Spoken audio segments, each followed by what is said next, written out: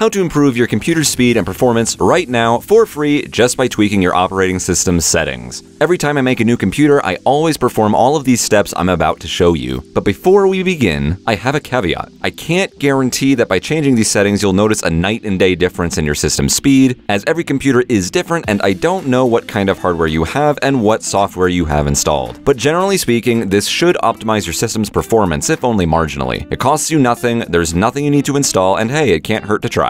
So let's get started. It doesn't matter what order you do any of this in, but let's begin with the power settings. Pretty much everything I'm about to show you also applies to both Windows 8 and 10, but I'm using Windows 7. So if you're not using Windows 7, there will probably be slightly different methods of getting to the settings to tweak, if that's the case. But the way I get to the power settings is by right-clicking anywhere on the desktop and then selecting Personalize in the drop-down box. Hit Screensaver and then click on Change Power Settings. Alternatively, you can go into the Start search box and type in Power Options. If you're not using Windows 7, you can head into the control panel, go to Hardware and Sound, and then Power Options. Either way, I like selecting High Performance. Hit Change Plan Settings next to it. Now click Change Advanced Power Settings. Scroll on down to Wireless Adapter Settings. Open up Power Saving Mode, and make sure it's set to maximum performance. Of course, this tip only applies if you actually have a Wi-Fi card in your computer. Next, USB settings. Disable the USB selective suspension. Although this setting is designed to save some power, it's a common culprit for causing USB devices such as keyboards and mice to have problems with performance. And when enabled, best case scenario, it only saves a minuscule amount of power. Now on PCI Express, turn off the link state power management. This setting is designed to stop your PCIe slots from drawing too much power when they're idle, but I've read reports of users' graphics cards performance getting throttled when it's not off. Moving on to processor power management, set the minimum processor state to 100%. Just like everything else I'm showing you in this video, this is entirely up to you. You can set this to any number you want, but basically,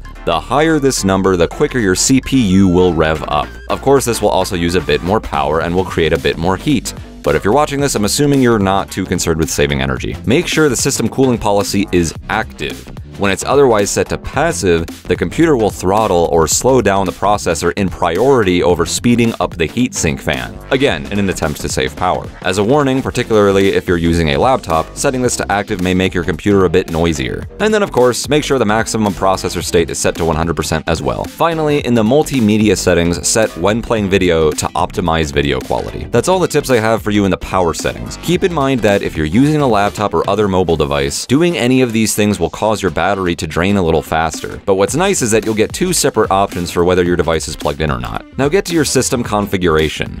With Windows 7, when I type in msconfig in the start search bar and hit enter, I get to it. But if that's not working for you, open up the Run application and type it in there. How to get to the Run application? Easy. Type in Run in your search bar. Once you've made it, go to the Services tab. These are all the services that will be running in the background of your system. Check the Hide All Microsoft Services box. I wouldn't disable any of those if I were you. Now, basically, the more of these services you have enabled, the slower your computer could potentially operate. Disable any services that you don't need or want, or mysterious ones that may have been installed on your system behind your back. For example, I have the Apple mobile device system disabled because I don't have any Apple mobile devices. I suspect Apple stuck this little parasite of performance in my system after I installed iTunes. Once you've removed everything you don't want running on your computer, move on to the Startup tab. Again, disable anything you don't want running as soon as you turn your computer on. The more of these you have enabled, technically speaking, the slower your computer will boot up. Do all of this at your own risk. Be very careful as to what you are selecting you don't want to accidentally disable something important. Alright, now that we've increased our computer's power usage and removed any unneeded background services and startup programs, let's move on to speeding up and optimizing our internet connection. Head on into the Device Manager.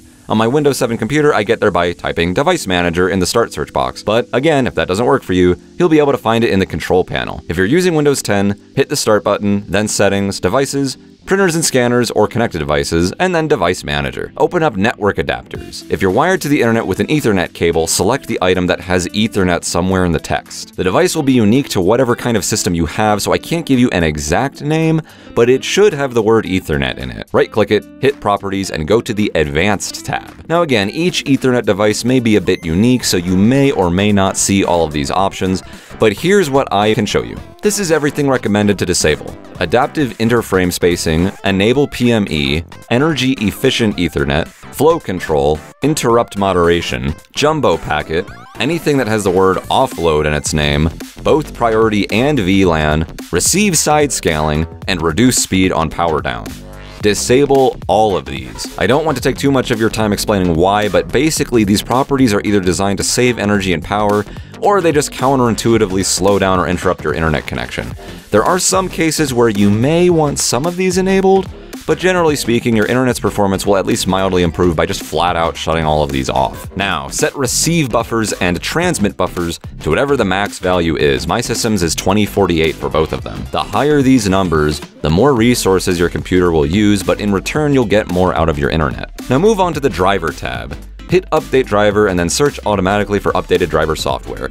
The program will search the internet if there's a newer driver available for your Ethernet connection, and will download and install it if it finds one. Then finally, select the Power Management tab. Uncheck the Allow the computer to turn off this device to save power box for obvious reasons. Now click OK. Now if your computer connects to the internet via Wi-Fi, in the Network Adapters tab of the Device Manager, look for the device that contains the word wireless. Again, right-click it and hit Properties. This is going to be almost the exact same procedure for when tweaking the Ethernet driver, but the properties will be a bit unique. As you know by now, every system is different and pretty much every Wi-Fi card is different, so yours may have unique properties than the one I'm showing you here. Most of these you can just leave alone, but check for anything involving saving power or energy efficiency. Turn these off if you want to boost your Wi-Fi's overall performance. Other than that, there are two key properties you'll probably want to tweak. The first one is transmit power. What do you think you should do with this? You got it! Set it to the highest setting you can. Look at you! You're catching on to this. The other property is the roaming aggressiveness. Now, first off, what exactly does roaming refer to with devices that utilize wireless internet connection? Well, to put it short, roaming aggressiveness is how frequently the device is searching for a better spot to fetch its internet. The higher this setting, the more power and resources your Wi-Fi card will use in order to search for more optimal internet. Now, you might be wondering, isn't it a good thing that the device is roaming for better internet? Theoretically, yes, mainly if you're on a mobile device like a phone or tablet, something that you'll be moving around a lot. But if the device won't be changing its physical location very often, if at all, there really is no need to enable any kind of roaming. Like so many of these properties, they suck up resources that the device could be using to just have a good, solid, fast, uninterrupted internet connection. And then, just like the Ethernet, check the internet for updated drivers and do not allow the computer to shut the device off in order to save power. That's it. Those are all the tips I have for you today, and I reiterate, you don't need to make any of these adjustments that I'm advising you to. I can't guarantee that you'll notice a night and day difference in your computer's performance by doing any of these, but these are just a handful of things you can adjust for your system's speed and efficiency to be as good as it possibly can, whatever its full capabilities may be. Thanks for watching, subscribe for more PC how-to videos, and if you have any questions at all, drop a comment down there and I'll get back to you as soon as I can. Torqcx out.